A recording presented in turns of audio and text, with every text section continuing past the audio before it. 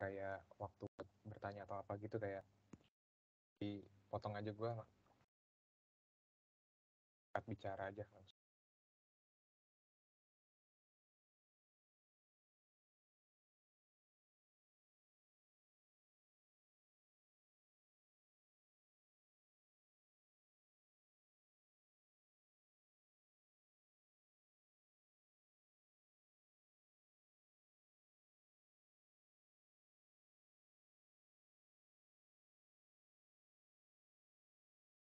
Uh, udah kelihatan belum?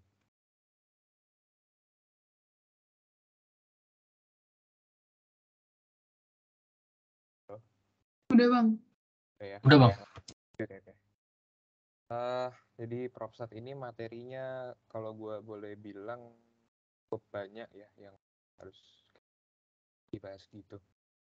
Jadi gue nyoba untuk eh nyoba untuk kasih ini lebih kayak lebih ke lebih cara review gitu ya review dan oh ya ini aja. Kembali gitu dan uh, beberapa ada kasih contoh soal gitu. Uh, apa namanya materi yang gue rasa mungkin perlu dikasih contohnya gitu kali ya. Ya. Yang gue lihat itu kemarin materi kalian ada ini ada distribusi sampel gitu ya.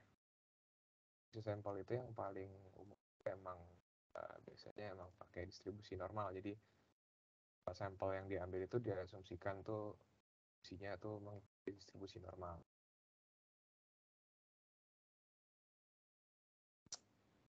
Uh, kalau kalian tahu central value theorem gitu nah itu pokoknya itulah central salah gitu. Nah itu ya kalau sampelnya semakin banyak itu nanti bentuknya akan mendekati distribusi normal yang ini. L gitu yang sesuai kalau di distribusi sampel itu jadi kita uh, ingin mengetahui statistik gitu statistiknya atau kayak bahasanya parameternya gitu dari sampel gitu. Misalnya kan kalau statistik yang paling umum rata-rata sama uh, ya. Variance ya. Oh uh, kan itu kan sama dengan rata-rata populasi. Kan uh, ini kalau gue nya lebih ke ini sih S sih. Jadi kalau jadi ada konvensi kalau misalnya uh, gue ya. Uh, jadi ada kalau di statistik itu ada kayak konvensi gitu. Jadi kalau misalnya bahas tentang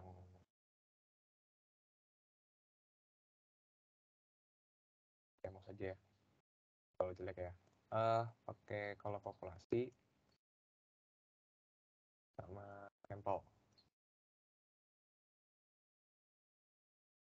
nah biasanya uh, kalau populasi itu pakai ini singkatannya pakai Yunani jadi misalnya uh, itu mu misalnya terus variance itu pakai sigma gitu Terus, tapi kalau sampel itu dia lebih seringnya pakai uh, biasa gitu, notasi biasa. Kita X bar, ya kan.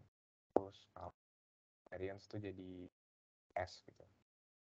Itu sih. Jadi biasanya konvensinya gitu. Jadi kalau misalnya kayak di soal atau di textbook itu kelihatan kayak biasanya kalau ditulisnya Yunani, uh, berarti dia kemungkinan besar uh, ngacunya itu ke populasi sedangkan kalau misalnya kayak pakai tulisan biasa kayak misalnya pakai Xbar atau pakai S itu pakai uh, itu berarti maksudnya yang dibahas sama dia itu sampel gitu.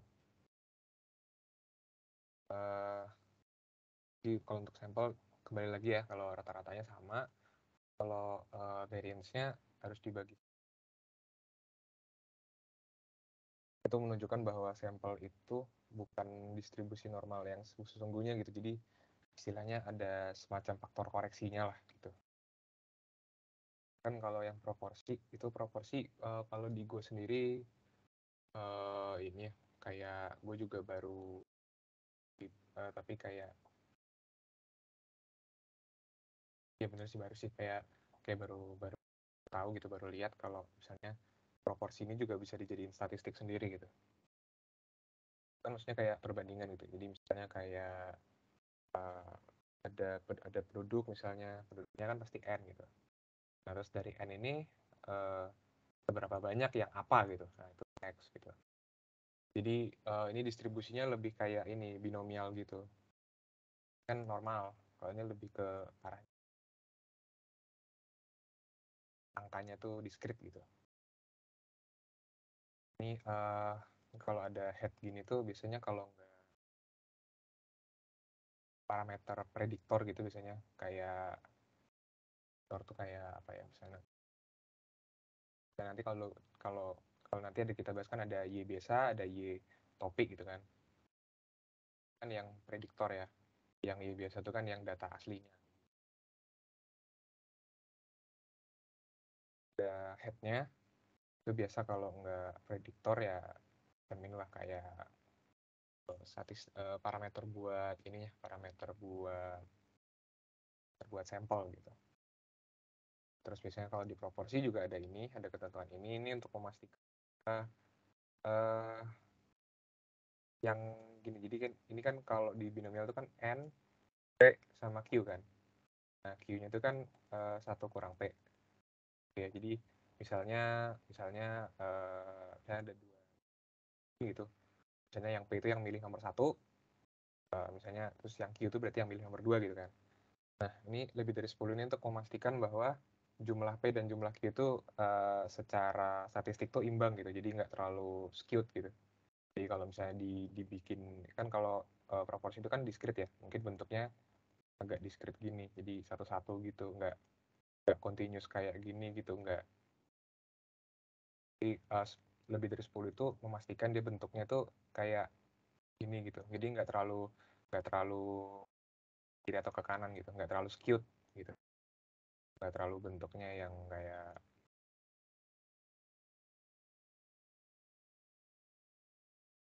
nah, kan skewed kan kayak miring ke kiri gitu kan. Kalau uh, rata-ratanya langsung dari ambil uh, ininya aja langsung dari ambil proporsinya persen itu yang dijadiin rata-rata. Sedangkan kalau statistik variansinya dia ngambilnya gini ini rumus sih gue nggak bisa banyak tuh. Si sampel. Terus ada juga gue gue lihat uh, ini ya estimasi rata-rata gitu. Jadi misalnya diambil sampel tertentu gitu kan diambil sampel tertentu dari populasi itu kita diminta buat ngasih rata-rata itu uh, uh, lies between uh, nilai berapa dan nilai berapa gitu. Jadi nah itu nanti di, uh, dipengaruhi sama confidence inter apa uh, dipengaruhi sama alpha. Alpha misalnya uh, tingkat kepercayaan 98% gitu kan. Ya udah. Berarti uh, misalnya 98% misalnya kan kurva normal kan gini. Berarti 98% ini ngambil di tengah-tengah. Jadi ini kayak 0,1, 0,1, ini 0,01, baru ini 98 persennya yang ini. Jadi titik ini dan titik ini yang jadi batas kiri dan batas kanannya. Di rata-ratanya lies di tengah-tengah ini gitu.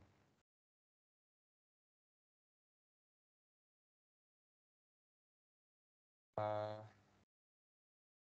di ini bener ya gini jadi kan uh, p value dari ini kan satu min a ya. Nah, jadi satu min a ini kayak tadi yang 98 persennya gitu. Uh, mungkin biar nggak bingung langsung masuk soal aja kali ya.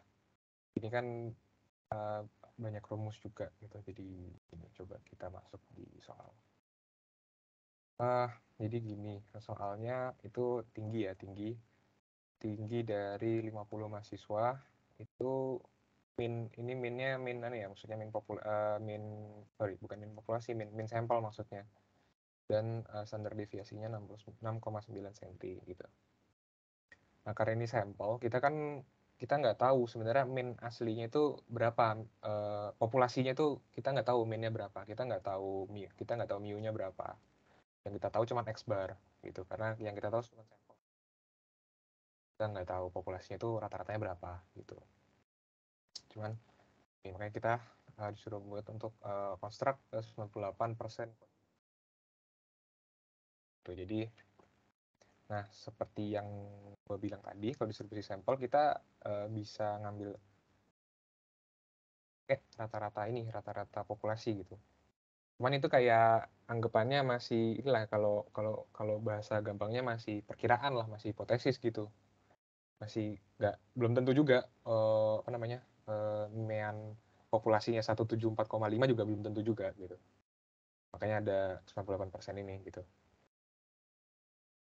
Biasanya kalau statistik uh, langsung ini ya jadi dari soal gue tulis apa yang diketahui biar lebih gampang ini masuk ke rumusnya tuh apa gitu. Biar lebih jelas apa yang dimasukin ke rumus. N 50 x bar 174,5 uh, ini harusnya s ya. 6,9 gitu nah terus gini uh, kan bentuknya kalau uh, ini kalau nggak di nggak nggak di nggak di nggak ditulisin apa-apa berarti gue assume two tailed gitu. Jadi uh, 98% tuh bentuknya yang kayak tadi gue gambarin. Beginilah ya kira-kira. Nah jadi 98% itu ya maksudnya di tengah-tengah gitu. Jadi nggak jadi nggak dari kan kiri aja atau kanan aja gitu tapi itu tail dari kiri kanan bentuknya. Statistik tuh macam-macam ya ada yang ada yang uh, left tailed mungkin ada yang left tailed kan gini yang left tailed kan mungkin gini gitu. Jadi daerah daerah yang uh, jadi confidence confidence uh, intervalnya mungkin sebelah sini gitu. Jadi kalau masuk sini apa gitu nanti? Tuh ini kan left tail asumsikan di sini tuh nah kalau interval itu kan pasti kayak mu itu lies between nilai apa dan nilai apa gitu lebih make sense. Oh, jadi uh, karena 98 persennya di sini, mau nggak mau uh, 0,01-nya, uh, eh sorry, 0,2 persennya kan harus dibagi dua kan, buat yang kiri sama buat yang kanan, gitu. Makanya uh, kiri sama kanan 0,01 gitu. Nah ini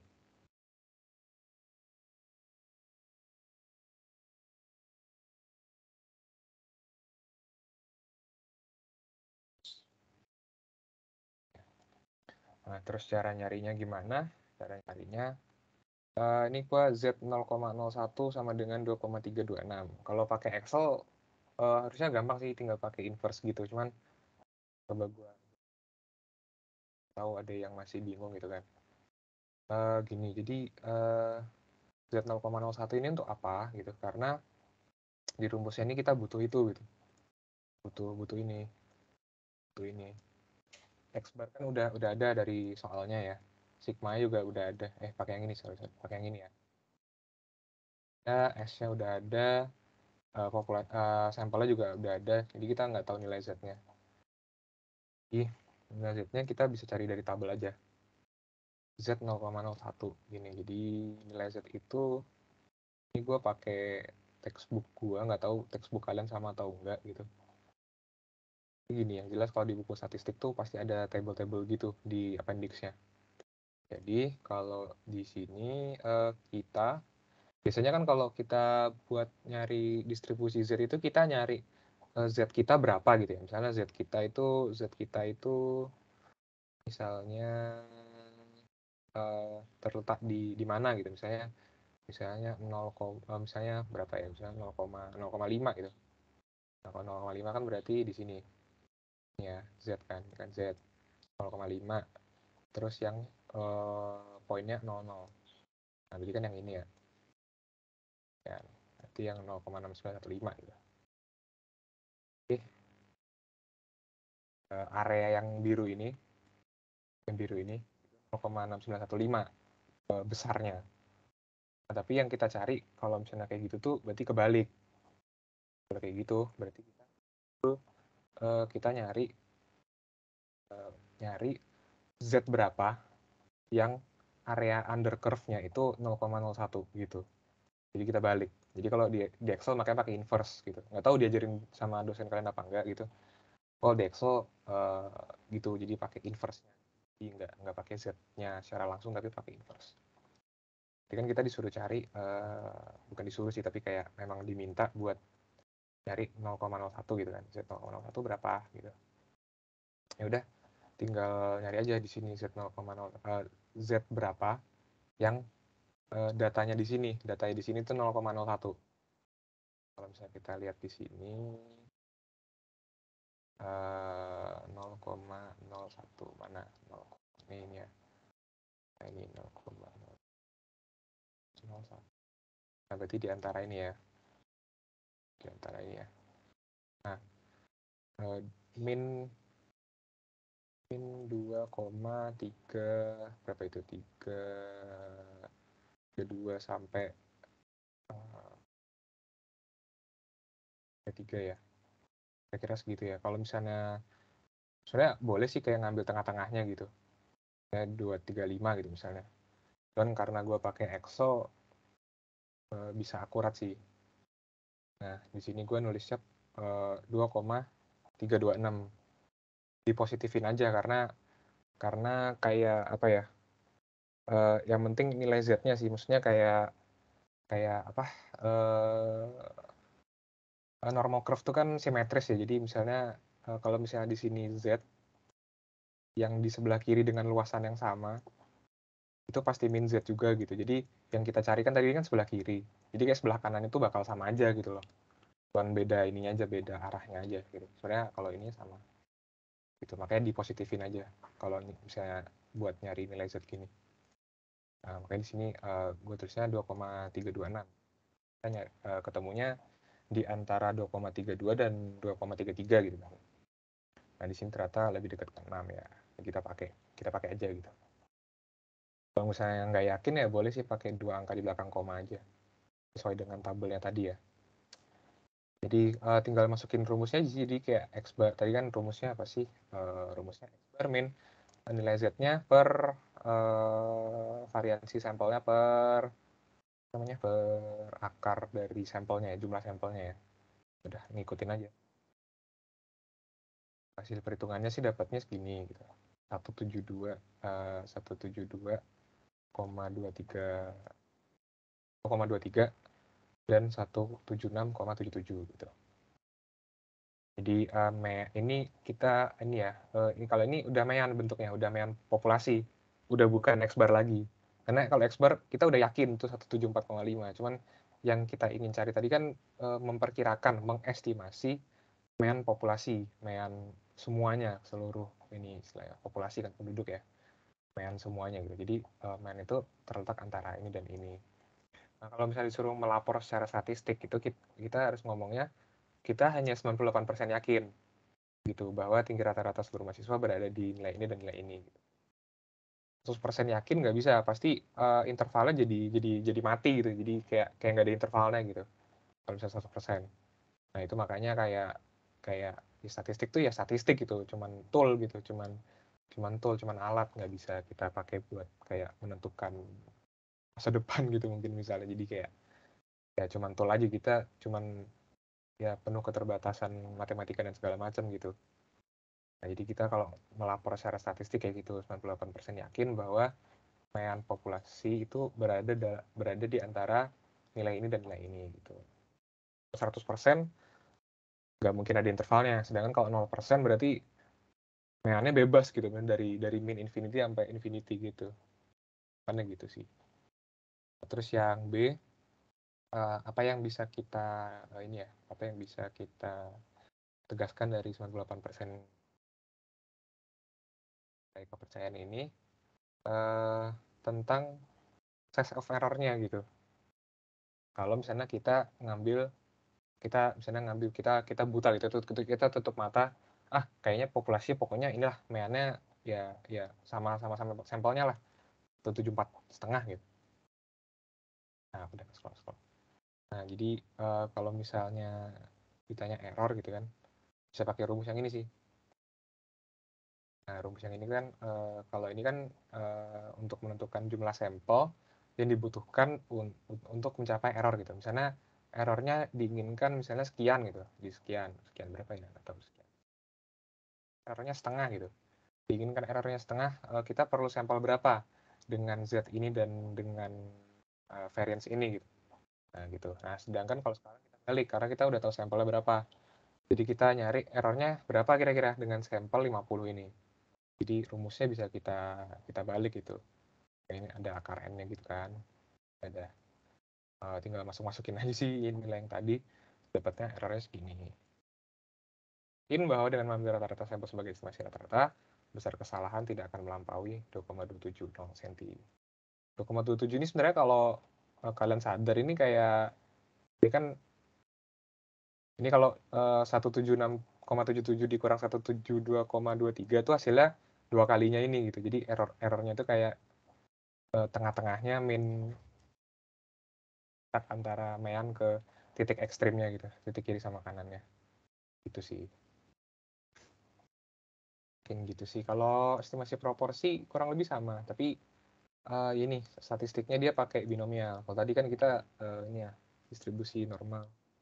Kalau ini kan lebih ke versi diskritnya gitu. Nah kalau proporsi ya udah jadi kayak mu-nya kita sama jadi kita pakai p-nya kita pakai misalnya persen orang uh, ternyata memilih ini ya udah kita mainnya ambil itu sekian. Terus variance-nya juga ini eh ini ini ya uh, ini standard deviation ya. Inilah pokoknya. Uh, terus ininya sama. Uh, statistiknya yang beda. Kalau tadi kan kita pakai ini ya pakai S per akar N ya buat ininya.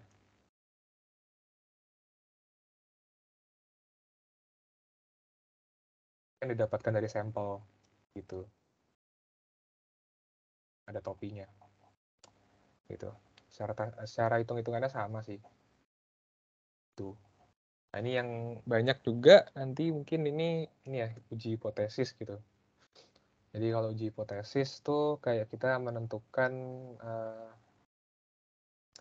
secara statistik tuh misalnya apa ya misalnya uh, ada misalnya tanaman apa gitu. Tanaman apa gitu. Terus misalnya uh, lu pupuk gitu misalnya Nah, seberapa efektifkah pupuk ini gitu dalam ini misalnya apakah pupuk ini sekian persen efektif gitu. Nah, itu makanya harus diuji hipotesis gitu. Nah, misalnya kalau eh, misalnya kalau kayak gitu biasanya kalau misalnya pakai uh, contoh kasus yang gue bilang tadi misalnya uh, H0-nya itu biasanya uh, tidak ada pengaruh pupuk terhadap uh, pertumbuhan tanaman ini gitu. Nah, sedangkan kalau misalnya H1-nya alternatifnya itu pasti apa namanya uh, ada, ada bukti menunjukkan bahwa gitu. Bukti menunjukkan bahwa uh, ada ada pengaruh uh, terhadap pertumbuhan tanaman ini. Misalnya uh, tadi H, H satunya berapa persen? Ya udah ngikut itu berarti.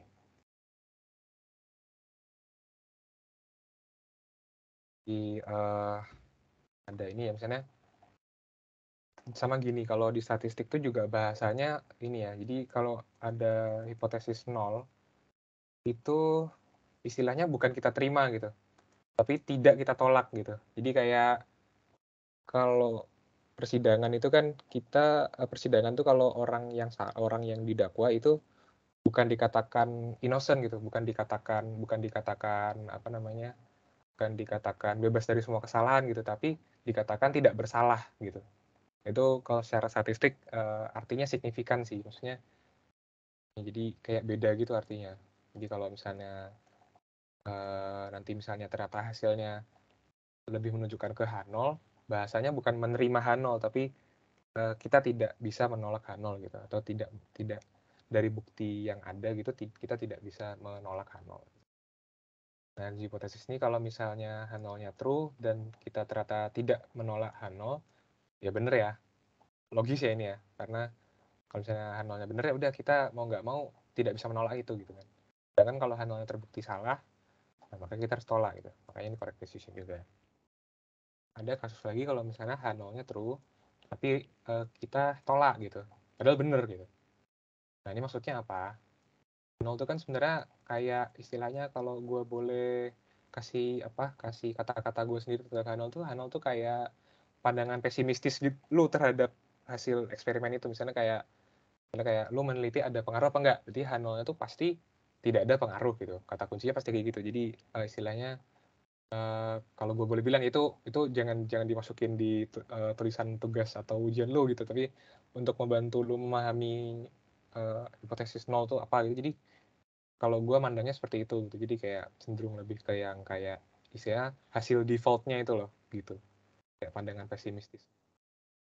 Nah kalau misalnya H0-nya benar, misalnya tidak ada pengaruh dan lu merasa uh, misalnya riset lu itu membawa hasil gitu kan. Kalau lu merasa ah risetku uh, riset riset gue bagus uh, membawa hasil ada ada kok pengaruh gitu. Tapi ternyata ternyata yang benar tuh H0-nya gitu.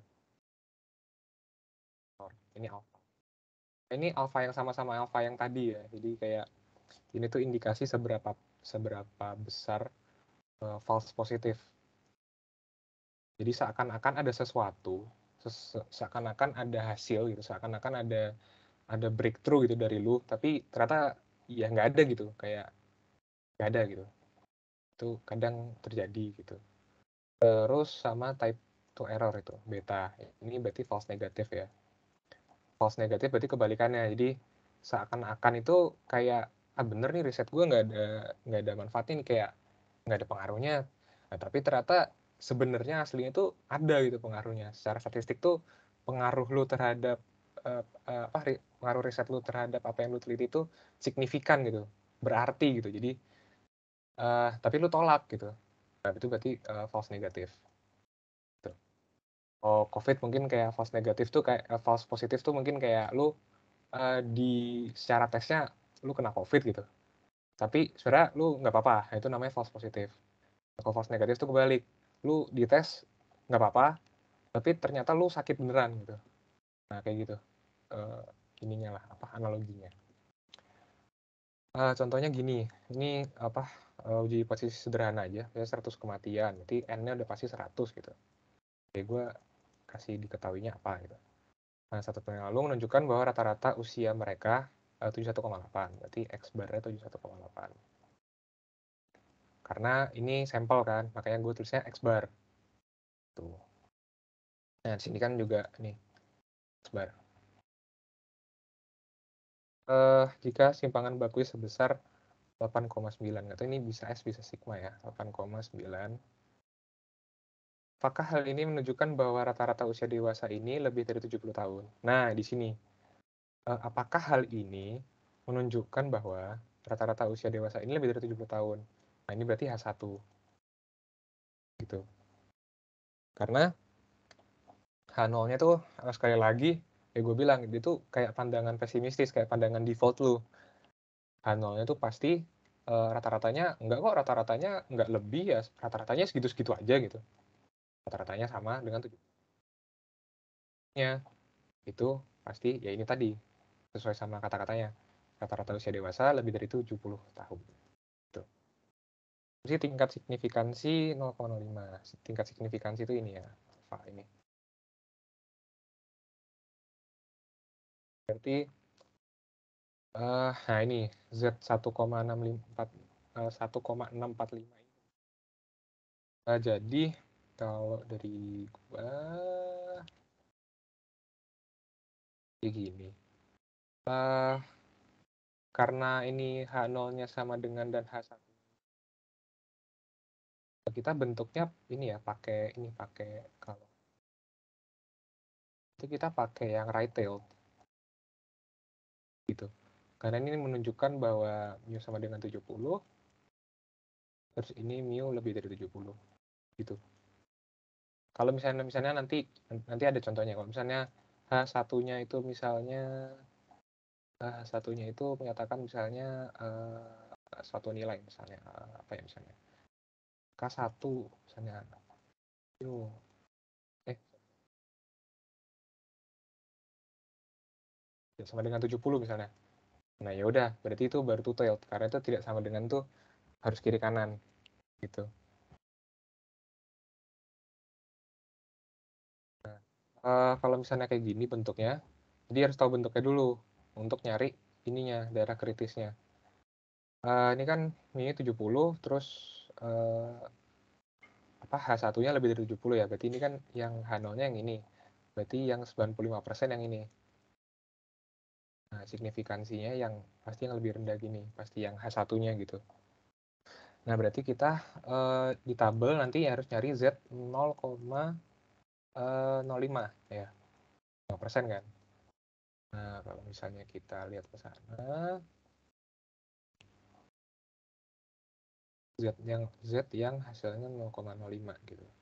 Kita cari ini 0,05. ya di antara ini ya. 0,05 itu ini. Berarti nah ini 1,6 4 sama 1,65 bener ya tadi 1,645 ya? Di antara di antara dua ini persis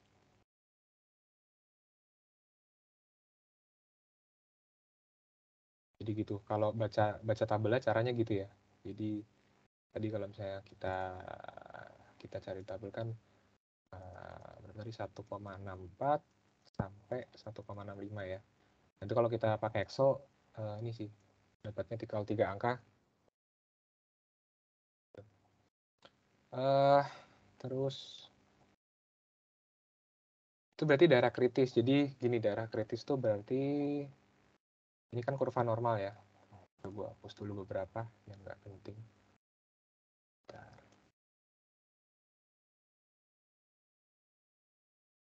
jadi yang yang ini ya yang Z ini ya Z sama dengan 1645 Z-nya. Ini nilai Z-nya yang yang pembatas antara H0 dan H1-nya itu ini 1,645. Jadi kalau misalnya ternyata kita uji sampel ini nilai Z-nya lebih daripada 1,645 ini, kita akan menerima H1-nya gitu. Kita menolak H0-nya. Sedangkan kalau masih kurang dari Z ini, kalau kurang dari Z kan berarti di kiri ya. Nah, kita akan eh, gagal untuk menolak H0-nya. Kayak gitu. Jadi eh, apa namanya? Kita ini kan Z-nya Z yang dapat dari ini tadi ya, dapat dari tabel ya. Nah, sedangkan kalau Z yang ini tuh yang kita mau hitung. Z ya Z hitung biasanya istilahnya ya. Jadi eh, tinggal ini ya X bar kan tadi 1,8 dikurangin rata-rata ininya rata-rata rata-rata uh, yang diduga gitu. Tadi kan duganya 70 ya. Berarti ya udah duganya uh, kita masukin ke sini 70 terus sigmanya 8,9, terus sampelnya 100, berarti akar 100. Z-nya itu 2,02. Berarti kan di kanannya 1,645 ya. Nah, kalau di kanannya kan berarti kan kita udah masuk region yang ini ya, region yang mu lebih dari 70 ya. Nah, makanya kita keputusannya menolak. Jadi, kesimpulannya kalau statistik eh, statistically statistically speaking jadi ngomongnya gini rata-rata usia dewasa ini melebihi 70 tahun kayak gitu. Karena kita gagal menolak buat eh, eh kita eh, menolak H0-nya dan kita menerima H1-nya gitu. jadi kalau eh, ini ini rangkuman ya. Jadi kalau misalnya kayak tadi yang tadi itu yang kasusnya yang pertama ini yang ini tadi. Kita tadi yang ini. Kita tadi yang ini.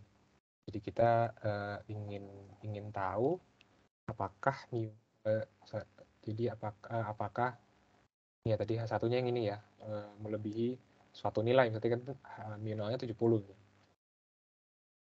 ya sama aja gitu jadi tidak berubah ya mu-nya ya mu 0 juga ya mu-nya 70 70 aja gitu nggak nggak nggak lebih nggak kurang gitu tadi kita yang ini contohnya nah sigmanya itu nggak diketahui sigma ininya sih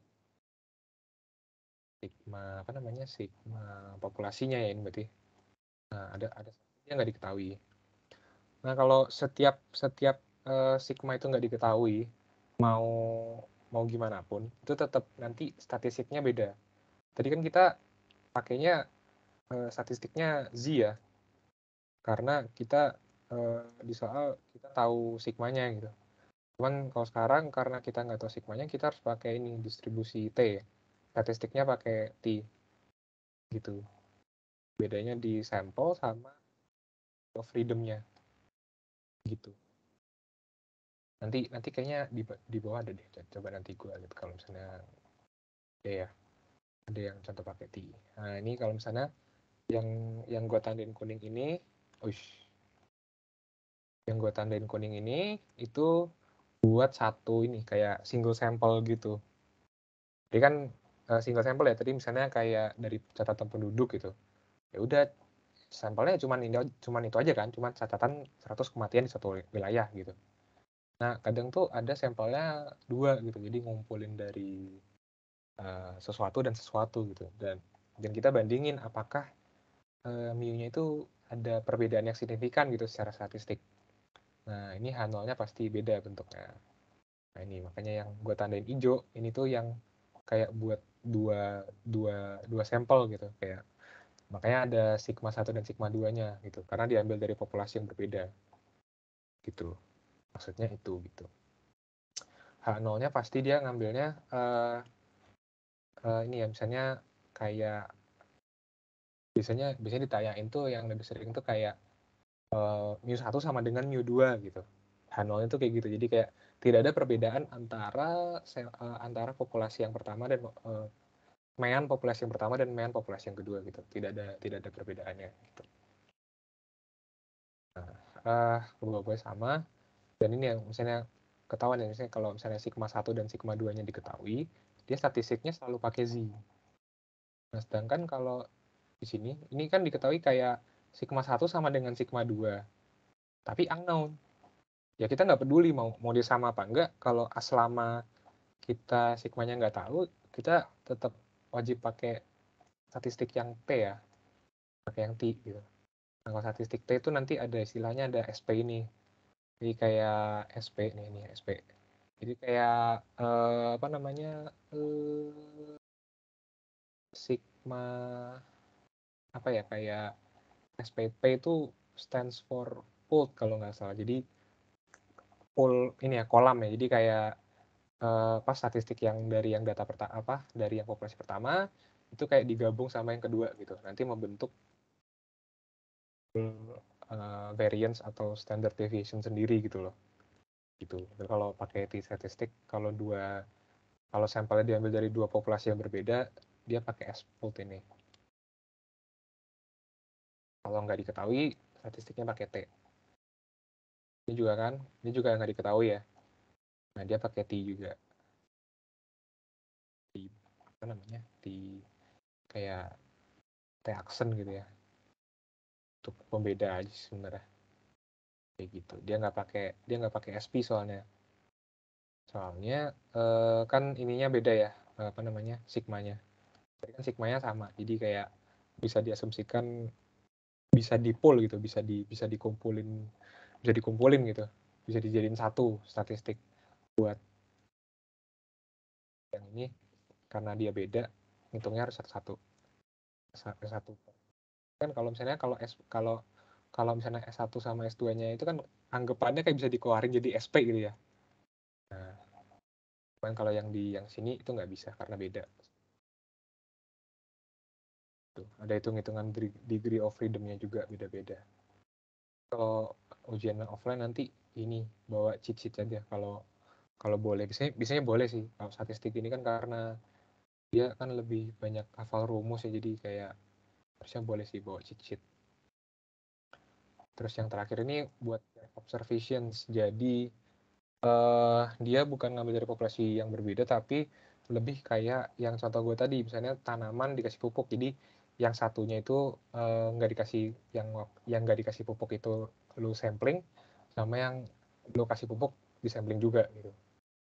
Nah gitu. Itu paired observation. Jadi subjeknya subjeknya kayak sama gitu cuman perbedaan lu uh, perbedaannya terletak di perlakuannya aja. Nah itu uh, bisa dikatakan paired observations. Nah, udah gue jelasin ini ya berkali-kali ya. Gitu. Jadi kalau sigma yang diketahui pakai z. Kalau nggak pakai t ini nah ini paket ini. Uh, experiment was performed to compare the abrasive wear of two different laminate materials. Satu dua belas ya dua belas. Material satu tested by exposing each piece to a machine measuring wear gitu.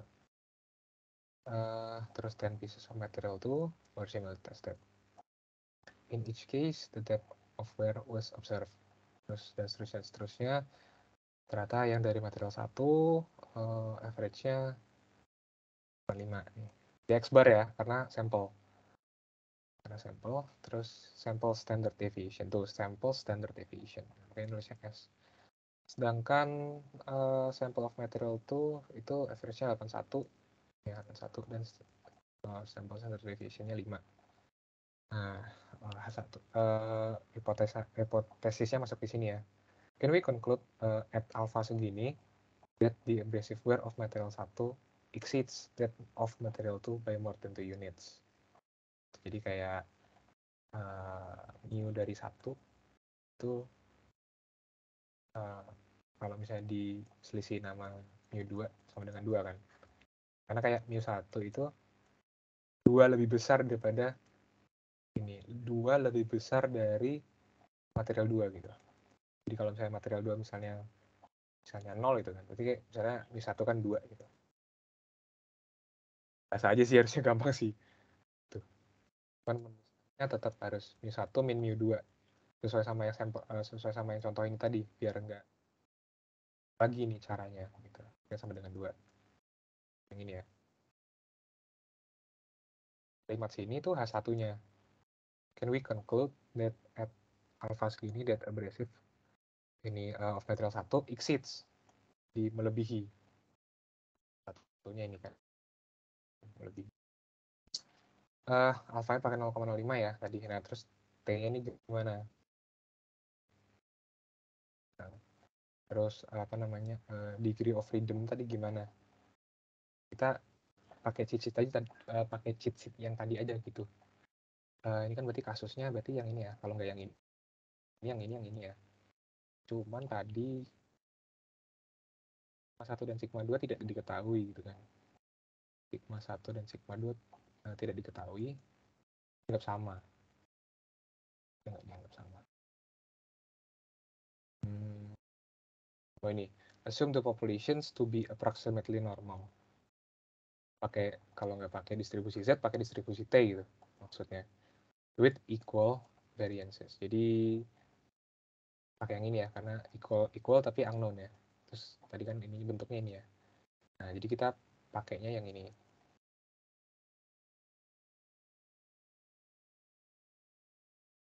satu tambah n2 per 2 ya eh n1 tambah n2 kurang 2 jadi tadi kan karena ngambilnya uh, 12 plus 10 kan 22. Tapi dikurangin 2. Jadi 20. Terus apa namanya? Uh, degree of freedom itu terus rumus T-nya ada juga ya rumus T-nya. Rumus T-nya kan yang ini ya. Kita nyari T yang uh, 1,725 ini kan berarti T 0,05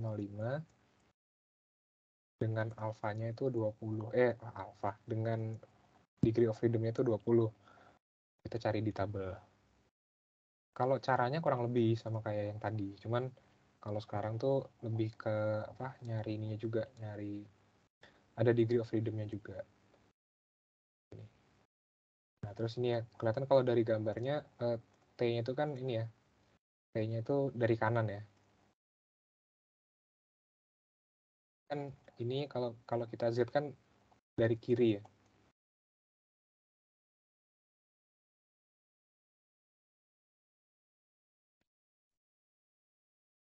Ini ya. Maksudnya kelihatan kita kayak makainya tuh oh, dari dari kanan gitu. T-nya selalu positif. Uh, jadi kita cari T-nya tadi yang 0,05, berarti kan yang ini. Dengan degree of freedom 20 lebih gampang ya nyarinya gitu nah ini kayaknya tinggal gitu sih sebenarnya lebih gampang nyarinya daripada yang Z tadi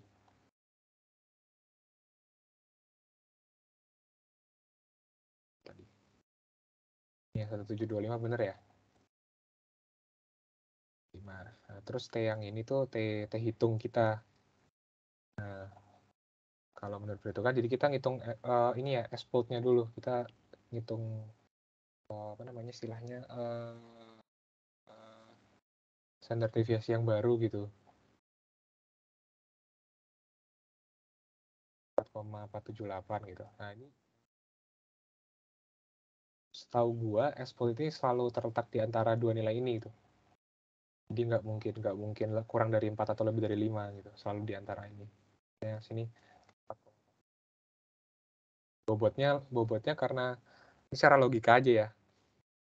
Kan kita ngambil sampel yang material lebih satu lebih banyak kan 12 kan yang kedua kan 10 bakal gini bakal kalau 4 sama 5 kan setengahnya di 4 setengah kan tengah-tengahnya.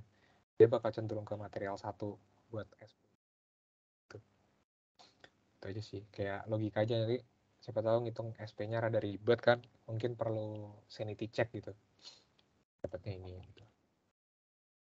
Ya tinggal tinggal masuk-masuk juga sih kayak X1 sama X2 ya X barnya dan S yang tadi. Dapatnya 1,04 gitu. Dengan 1,04 ini jadi kan statistik T kan gini ya bentuknya mirip T-nya 1,725 kan di sini. Nah ternyata dia menunjuknya ke 1,04 apa 1,04 di sini. Ini kan daerah yang daerah yang ini ya daerah apa namanya daerah yang H0-nya gitu. Kan alfanya tadi di sini ya. Apa namanya kalau di sini dia pakai p value p value itu maksudnya dari t dari t 1,04 ini kita konversi jadi nilai pi gitu jadi dengan dengan dengan nilai 1,04 ini kita kan 11 persen.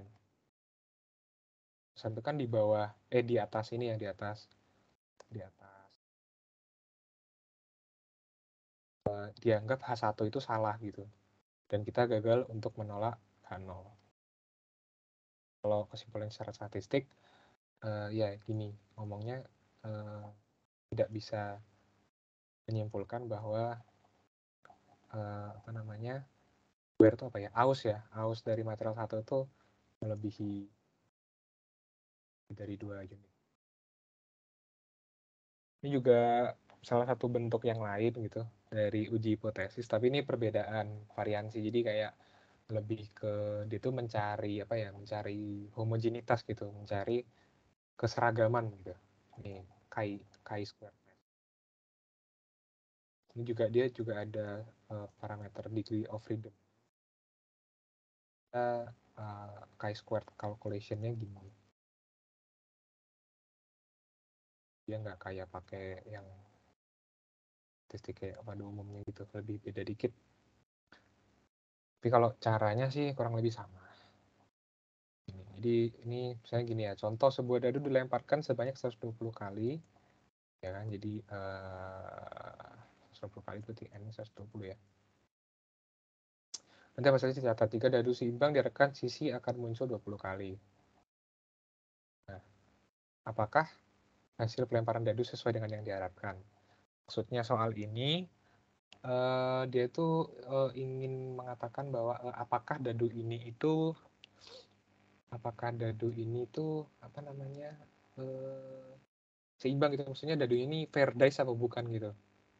Gitu maksudnya kayak kayak misalnya uh, lu nyuruh temen lu buat uh, ngocok dadu gitu. Karena yang uh, yang didapetin nama nilai uh, temen lu hasilnya segini Nah temen lu ini uh, ngecit apa enggak sih? Curang apa enggak sih? Gitu. Apa dia main ngisi-ngisi angka doang gitu? Apa apa emang bener dadunya uh, dadunya segitu? Nah itu kita bisa selidiki pakai uh, statistik gitu. Hipotesisnya gitu. Jadi H0-nya temen lu nggak bohong, terus H1 itu temen lu bohong gitu. Anggapannya gitulah. Gitu. Jadi kalau di uh, ini di uji chi-square test dia H0-nya itu uh, intinya tuh kayak intinya tuh uniform gitu. H0-nya pasti uh, apa namanya hasil pengamatan menunjukkan bahwa uh, hasil pengambilan ini tuh uh, seragam gitu atau sama gitu. Kan expectednya kan ini kan. Apakah dari observe ini uh, istilah uh, mencerminkan nilai ekspektasi gitu. Ekspektasi. Kita ngarepnya dadunya imbang ya. ya kita apakah yang nilainya diobservasi itu uh, beneran imbang apa enggak gitu. Sedangkan kalau H1-nya ya pasti uh, ada ada nggak tahu bisa kita selidiki tapi yang jelas satunya uh, akan mengatakan bahwa uh, bahwa nilai observe-nya itu beda dengan nilai expected-nya gitu berbeda jauh. Uh, secara statistik ya maksudnya kali ini kan udah jelas beda ya kalau secara mata tapi secara statistik belum tentu gitu. Nah kalau misalnya satu uh, itu berarti kayak nanti kesimpulannya uh, berbeda gitu secara statistik tuh signifikan uh, perbedaan itu signifikan gitu jadi temen lu kemungkinan kayak curang gitu kayak ngisi-ngisi ngisi-ngisi dari doang gitu. Anggapannya gitu. Uh, jadi gini kalau di chi square ini dia nentuin degree of freedom-nya gini kan observe-nya uh, eh, 6 karena ada enam kemungkinan data kan.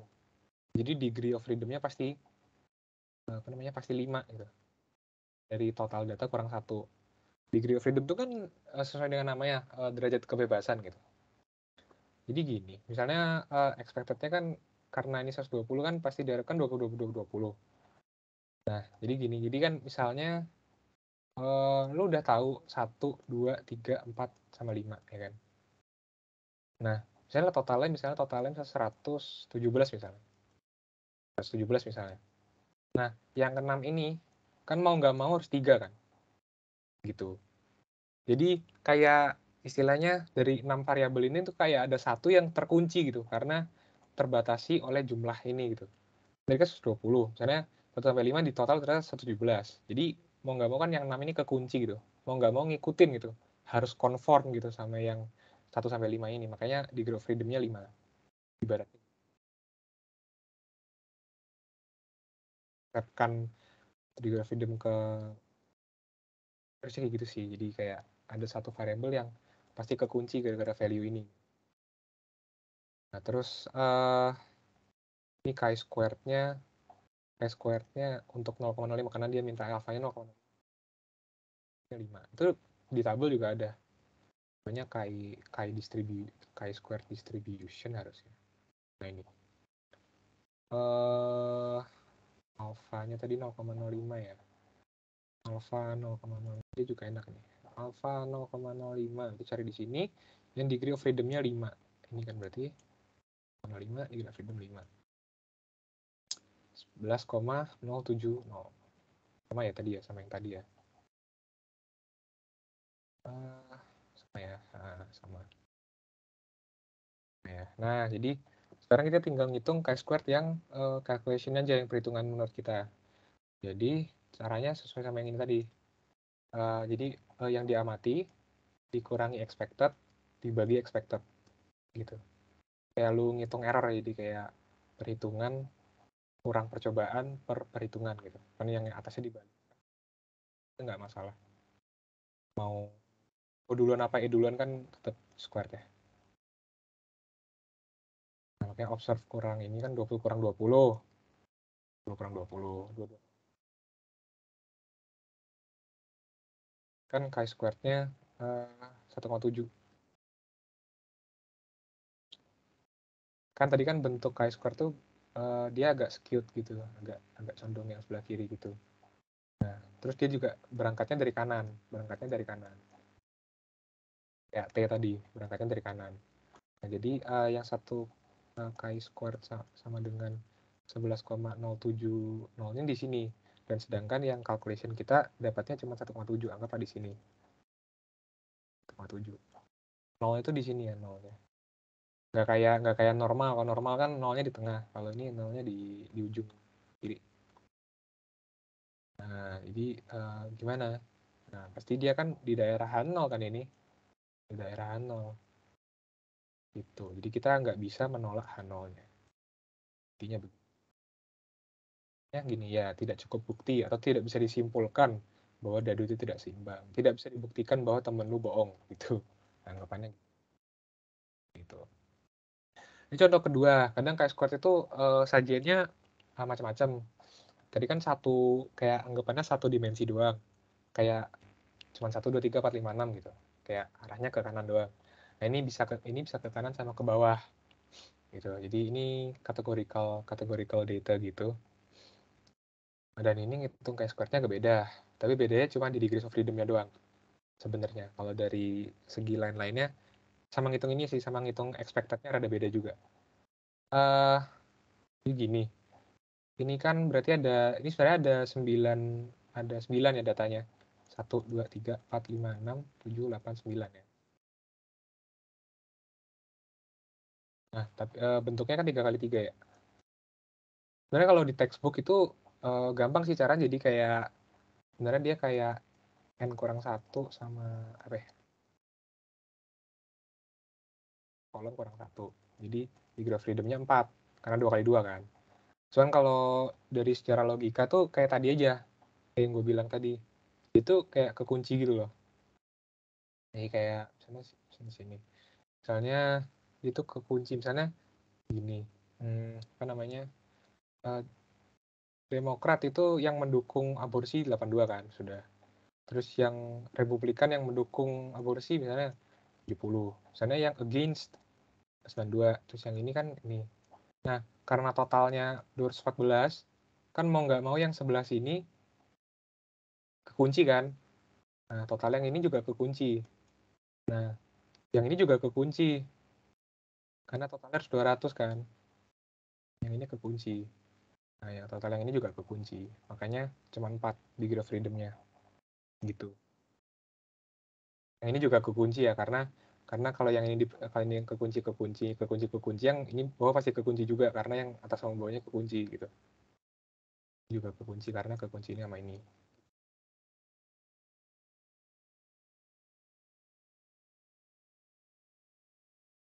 Makanya degree of freedom-nya 4 ya.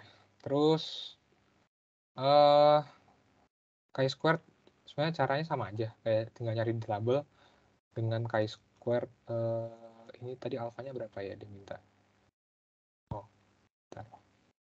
hilang ya. Coba kita coba kita lihat ya di tabel yang 9,488 ini berapa ya. Uh, alfanya nggak ada ya 9,488 ini ya. Oh 0,05 juga ya alfanya 5 persen standar ya alpha 5% tuh standar sering. Gitu. Jadi uh, eh, square dari uh, ininya udah udah diketahui kritikalnya. Kita tinggal nyari chi square hitungnya gitu. Nah cuman kita kan uh, tadi kan rumusnya uh, observe kurang expected ya. Nah sedangkan gimana caranya ini? Kita expectednya kita tahu dari mana gitu. Kalau misalnya datanya du, uh, dua dimensi gini Nah, ini caranya gini. Jadi ini rada lucu. Jadi uh, misalnya lu pengen nentuin expected buat yang misalnya buat yang Demokrat yang mendukung gitu. Yang mendukung, yang berarti yang 82 ini. Nah, expectednya itu dia pakai totalnya. Jadi gini. Ada ke atas terus. Jadi misalnya uh, 82 ini kan berarti uh, kolom pertama sama baris pertama kan. Gini kan. Nah, ini kan totalnya 200. Agak absurd sih emang hitungnya. Sama 214. Nah, terus ini dibagi sama uh, dibagi sama total yang total yang grand totalnya yang ini. Bentar, coba gue hitung ya, bener apa enggak? Bentar, coba gue hitung sendiri, bentar. 200 kali 214 500. Nah, 85,6. Bener ya? Gitu jadi ngitungnya ngitungnya caranya gitu agak rada rada absurd gitu. Cuman begitu caranya. Uh, yang kolom ke yang uh, kolom dan row selanjutnya juga begitu. Jadi saya ngitung yang demokrat yang against yang uh, tidak setuju dengan abortion law ini di 200 kali 222 bagi 500 gitu. Dapat dari situ. Tadi kan rumusnya observe kurang expected ya. Observe-nya kan ini datanya 82. Expected-nya ini 85,6. Gitu. Terus kalau dijumlahin dapatnya uh, chi squared-nya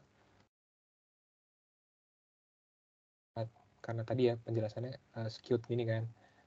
Tadi uh, x yang hitungnya di sebelah sini yang berapa? 9,488 terus yang berapa chi square-nya kan kurang dari sih ya, berarti, berarti kan sebelah sini. Nah, kan daerahnya Hano, berarti Hano-nya nggak bisa ditolak. Kayak gitu sih. Uh, kalau uji hipotesis harusnya aman sih. Yang penting udah tahu konsep-konsepnya kayak Z, T sama sama chi square harusnya udah paham sih. Terus regresi linear tuh sebenarnya juga sebenarnya materi yang kalau gue bilang mudah sih, sebenarnya mudah sih cuman mungkin yang yang yang ribet tuh masalah menghitungnya aja sih. Masalah apa namanya? Masalah rumus aja sih. Kan kalau rumus kan sebenarnya bisa bawa sheet ya. Jadi ini sih kalau yang kalau yang menurut gue penting itu regresi linear itu kan berarti kan y sama dengan b0 plus beta eh b1 kali x gitu. Kalau gue kadang eh, estimatornya pakai theta 0 sama theta 1 gitu. tapi uh, apa pun itu yang penting ini B0 dan B1 ini. B1 ini buat ngitung slope ya kan? Istilahnya slope. Terus ini tuh intercept. Intercept titik potong sembunyi gitu. Intercept. kalau ngitung ini harusnya udah pengalaman ya karena udah sering ngitung di Fishlist Wismac juga. Sepertinya sudah tahu apa yang harus dilakukan kan jadi uh, dari data, data itu kan ada pasti ada kalau data itu kan pasti ada x-nya ada y-nya. X-nya misalnya sekian y-nya misalnya sekian. Nah, nanti kan uh, nanti kan kita bisa expand tabelnya ya kan misalnya kayak kita nyari x x y-nya kita misalnya nyari x squared-nya kita nyari y squared-nya dan seterusnya. Kalau apa yang udah ngerti Fishmaker saya udah ngerti ya ini masalah gimana caranya gitu. Kalau yang ini ini kayak ini dikaliin dulu baru dijumlah ya. Jadi jadi jangan dijumlah dulu. Kaliin dulu berjumlah nah kalau kayak gini uh, jumlahin dulu xi-nya jumlahin dulu y-nya baru hasil penjumlahannya dikali gitu-gitu kan. Nah intinya seperti Fishmac dan Fishlist aja lah. Seperti praktikum gitu. B0-nya bisa pakai ini bisa pakai ini bisa pakai ini Ibar ya. Jadi bukan pakai y y mana-mana tapi y rata-rata gitu. Kalau lo kebetulan ngitung y rata-rata lebih enak pakai yang itu mungkin gitu. Jadi harus ngitung x rata-rata juga. Kalau gue sih biasanya lebih sering pakai yang ini sih. Nah ini kalau tahu nilai x y x y sama s x s-nya uh, b 1 bisa dihitung pakai cara ini malah juga sih. Ini kan ini kan yang ini ya. Yang ini ya.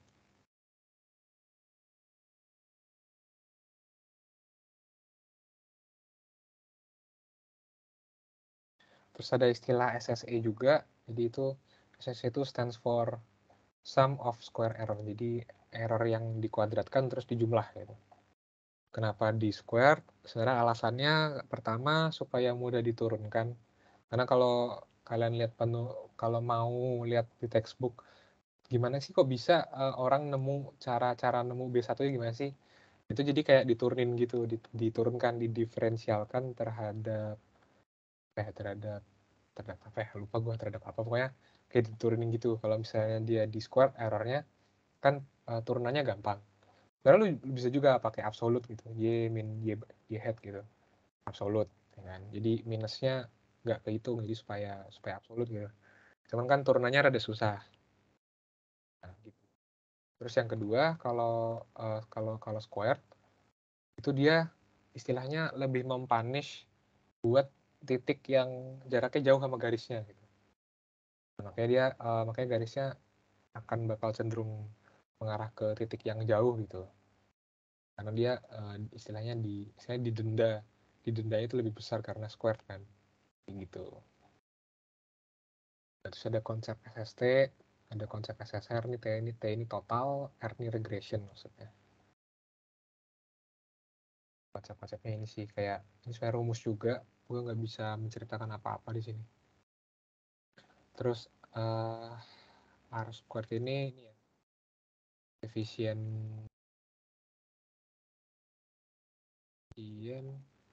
Determinasi determinasi. Gitu. Jadi kayak seberapa fit garisnya itu terhadap uh, data set atau data points yang ada gitu. Kalau lu Fishmac mungkin ngitung pakai Excel mungkin bisa tuh keluar tuh R, squared-nya misalnya kalau di percobaan-percobaan Fishmac Fishlist gitu R squared 90 sampai 100 sampai 99 bisa sih. R squared 99 persen gitu 90 persen Sedangkan kalau yang di akar itu namanya koefisien korelasi. Nah, tadi kan kalau ini kan uh, measure of fitness-nya. Kalau ini tuh lebih ke apa plus atau negatifnya gitu. Seberapa nyambung sih uh, garis lu dengan data-datanya gitu. Nah, kalau ini kan misalnya datanya ternyata ada korelasi uh, yang naik terus nih gitu. Ya, uh, R-nya akan mendekati satu. Sedangkan kalau berbanding terbalik misalnya dengan X yang bertambah, uh, y-nya berkurang gitu kan. Ini kan x-nya bertambah y-nya berkurang kan. Nah itu namanya korelasi negatif. Jadi r-nya bakal mendekati min satu. Kalau nggak jelas datanya arahnya ke atas atau ke bawah secara linear nah ini tidak ada korelasi itu nilainya mendekati nol. Gitu sih masalah konsep aja sih ini kalau masalah hitungan sebenarnya tinggal lihat rumus harusnya bisa sih. Gitu. Terus ada regresi linear berganda sama regresi polinomial. Ini gue gabung karena ada alasannya sebenarnya.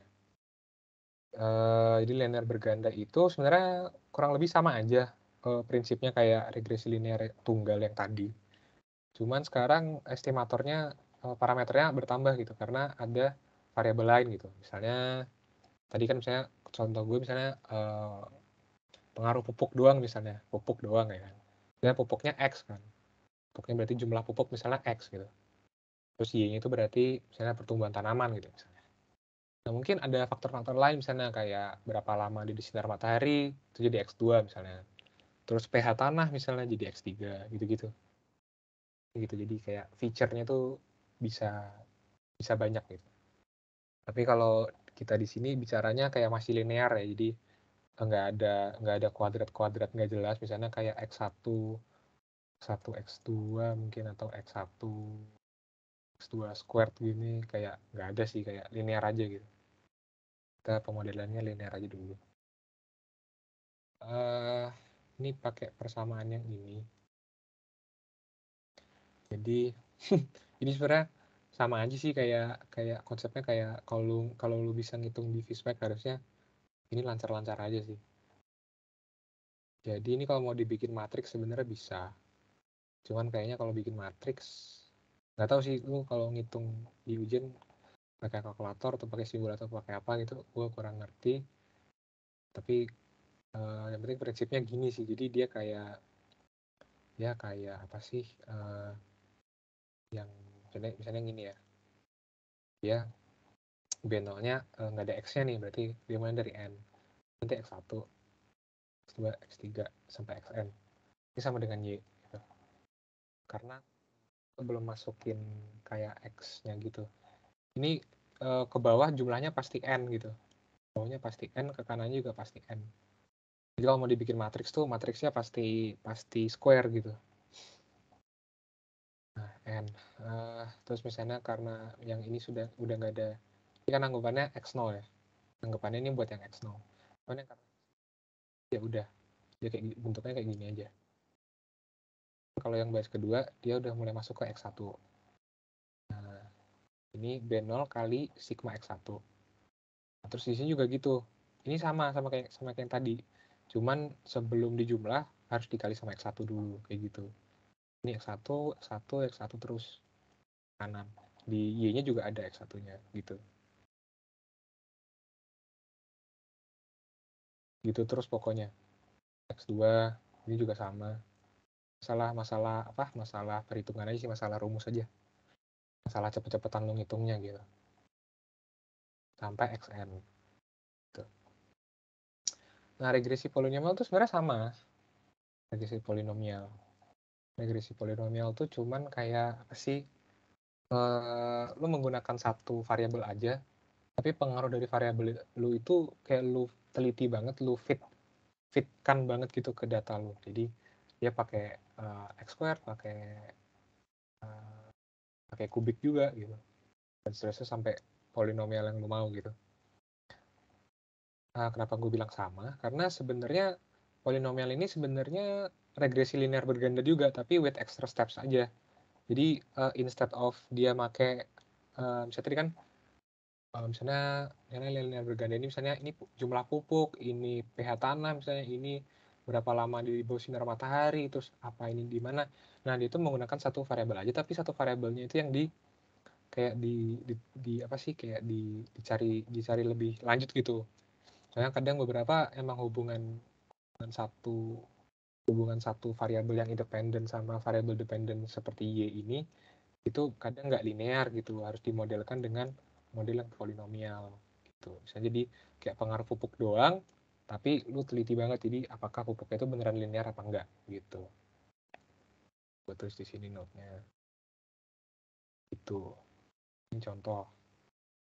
Jadi kayak ini langsung masuk datanya aja. Sebenarnya ininya nggak terlalu penting tapi kalau mau baca boleh juga jadi ada 25 dataset di sini uh, dengan data arm strength sama dynamic lift-nya.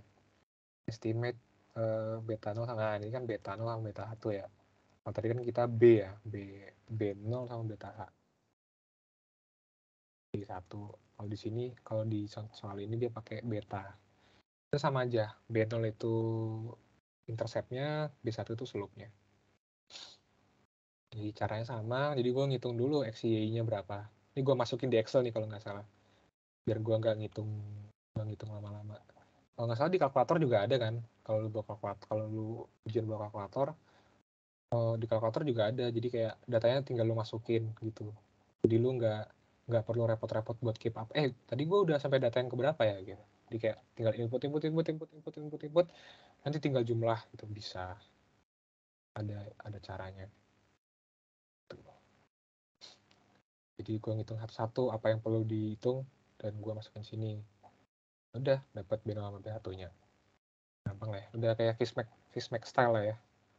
Terus yang B uh, find a point estimate of y dengan x itu 30 tinggal masukin aja sih.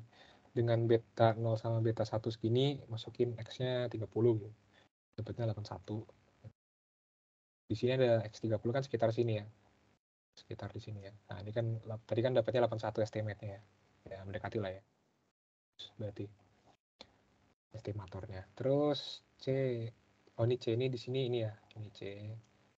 Di calculate uh, ini ya. R itu berarti koefisien korelasinya.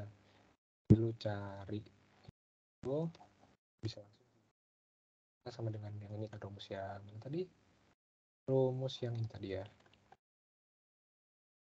itu yang itu sebenarnya tinggal masuk masukin aja x x y nya kan tadi sigma itu berarti sigma x i min x eh x i. Ya baru lupa deh. Nah ini x i min x bar. Nah, sebenarnya sama aja sih. X i x bar itu terus kali i min bar itu aja sih sebenarnya. Nggak ada yang spesial nggak ada yang susah harusnya. Cuma butuh teliti aja intinya.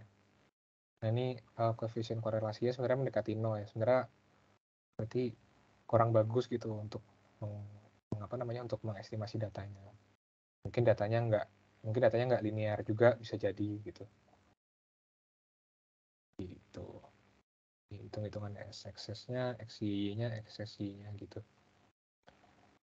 Nah, terus yang di ini dia rada unik nih. Uh, test hypothesis uh, that rho sama dengan 0 against the alternative that rho kurang dari eh, rho tidak sama dengan 0 the ini alfanya segini ya. Rho ini apa? Uh, ingat aja, sebenarnya rho, rho itu kan ini ya, rho itu kan Yunani ya. Nah, kalau Yunani itu berarti ada hubungan dengan populasi. Nah, sedangkan tadi kan ini R. Nah, R ini R-nya dari sampel.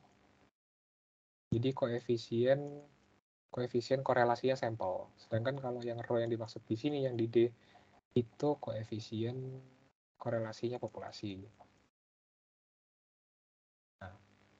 Tapi kita bisa mengestimasi dari sampel, makanya namanya kita jadinya uji hipotesis kan. Gitu kayak yang kita tadi kan kita sebelum-sebelumnya pakai Z, pakai T, pakai chi square itu kan sebenarnya kita dari sampel kan. Kita kan nggak ngerti populasinya bagaimana. Kita cuma ngerti sampel doang. Kita cuma ngerti datanya gimana dan kita disuruh istilahnya menebak lah gitu. Menebak populasinya bagaimana, kondisi data sebenarnya gimana gitu. Nah, berarti H0-nya uh, sebenarnya kalau eh benar-benar jadi uh, handle-nya uh, row-nya sama dengan nol. Berarti tidak ada tidak ada korelasi ya antara x dengan y-nya.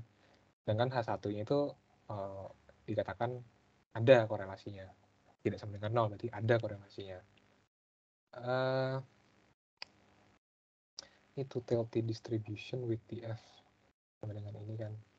Nah ini kan degree of freedom-nya sekali lagi n minus 2 ya. Karena Karena kalau kalau ini sebenarnya gini logikanya kan uh, untuk membentuk suatu garis ini kan ini ya. Membentuk suatu garis itu kan gini ini x nih. Uh, garis itu kan cuma perlu dua dua titik kan. Paling yang titik ujung sama yang titik paling kanan gitu. Anggapannya gitu. Nah jadi yang di tengah-tengah ini bebas kan. Dia mau titiknya di mana aja. Mana aja anggapannya. Kayak gitu Nah, makanya di Gear of Freedom ini kayak Ant-Man 2 gitu. Karena hmm, dua di sini tuh kayak mengunci, nah sekali lagi kata-kata kata kuncinya itu mengunci gitu. Mengunci garisnya ini tadi gitu. Di Gear of Freedom. Gitu. Terus di, di Gear of Freedom-nya kan 23. Terus alfanya karena dia 0,05 tapi karena two tailed two tailed kenapa? Karena dia row-nya tidak sama dengan kecuali kalau row-nya lebih dari atau row-nya kurang dari.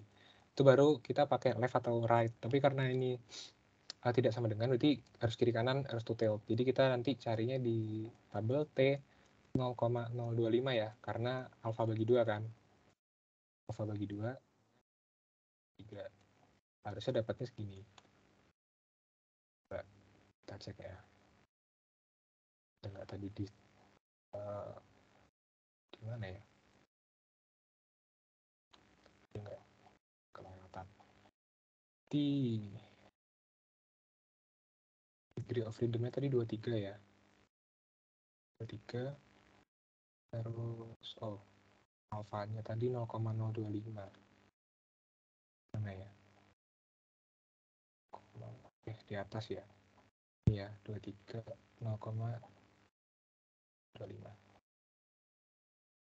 2,069 berapa aku lupa deh 2,069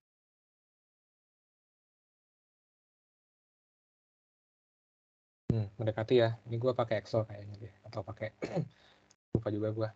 kan di tabel kan dia sajiannya tiga angka tiga angka belakang koma. Tinggal dibulatkan sama ya. Uh, jadi critical regionnya itu. Jadi kalau misalnya dibikin kurva ininya, kayak satunya di 0,0687 satunya lagi di min. Simetris ya jadi H0 nya di sini. Yang sini kayak ini H satunya H satunya. Kayak critical regionnya kalau nggak kurang dari yang minus lebih dari yang positif gitu. Kalau yang nggak yang kiri yang kanan kayak gitu maksudnya ya sih tinggal ngitung aja T-nya. Kalau T ini sebenarnya dari ah ini karena nggak nggak ada di materi sih sebenarnya. Gue nggak tahu diajarin apa nggak di kelas. Ya cuman ini gue ngasih contoh aja. Banyak kadang ada kayak gitu. Jadi tes hipotesis. Nah kalau uh, kalau buat ngetes koefisien korelasi itu statistik T-nya tuh kayak gini.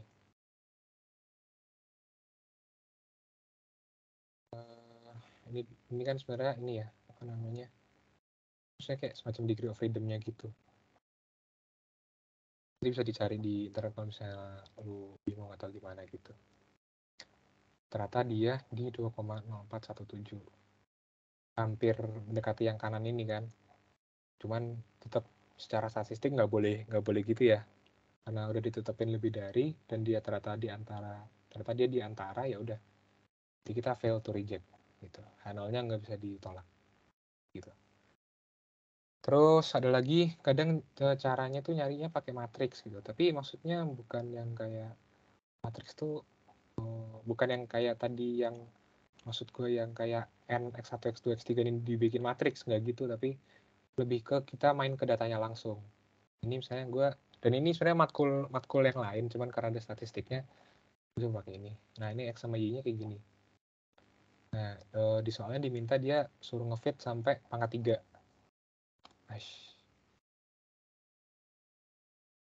Nah, ini gue nggak tahu diajarin apa enggak itu di kelas, tapi gue coba ngasih tahu aja.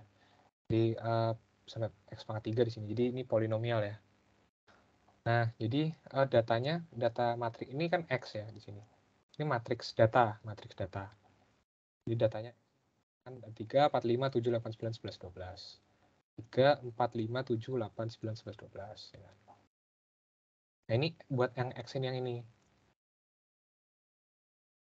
Yang ini.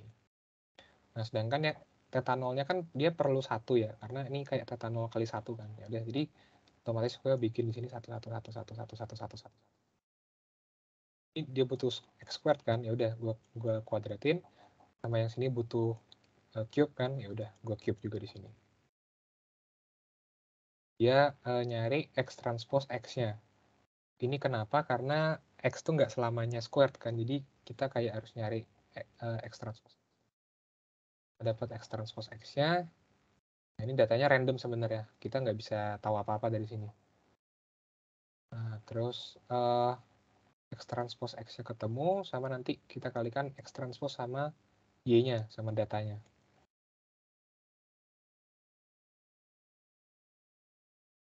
Terus persamaan kuncinya sebenarnya ini.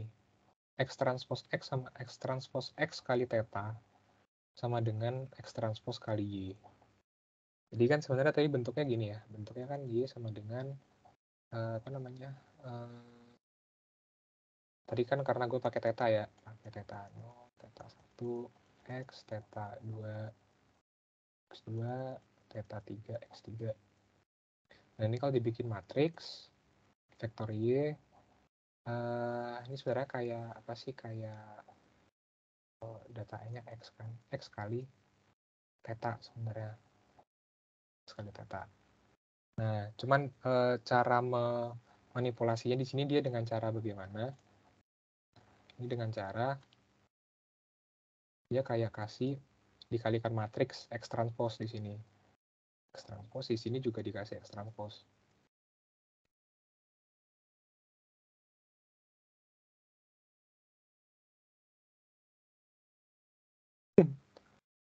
Transpose.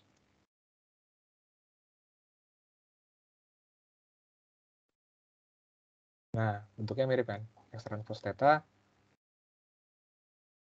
Kayak cara ini sih kayak ya untuk memanipulasi gitu. Nah, jadi tetanya ini bisa kalian cari dengan cara bebas misalnya eliminasi Gauss bisa, Cramer's rule bisa, pakai inverse-nya ini dikali ini juga bisa gitu. Nanti ketemu theta 0, theta 1, theta 2, theta 3-nya. Kayak gitu sih sebenarnya buat yang regress. Secara umum sebenarnya uh, materinya yang gue tahu sampai sampai sini aja sih harusnya.